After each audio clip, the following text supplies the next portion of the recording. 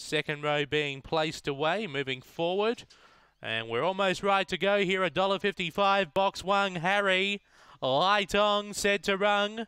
Race number five away. Harry began well towards the inside, but gets speed out wide from Sutton Prince, who's carving over, and Sutton Prince will find a rail by two and a half over Harry. A length away then to Amadil's Lad. A further three lengths to 58 with very jiggling all about and Cosmic Bird off the back. Sutton Prince on top by a length. Harry is looming up now, peeling to the outside. A gap into Amadil's Lad. Harry is tackling Sutton Prince Harry over the top. Too good. Beaks home Sutton Prince.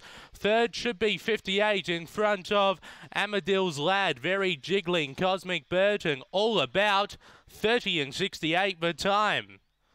After race number five, number one, Harry has been too good for Ray Murray, has been too strong late and has run down the early leaguer which was Sutton Prince, number eight, who will get second for Angela Modra. Third, number six, 58, Dong Turner. Fourth, number four, Amadil's Lad for Dong Turner. Run home in 14.85.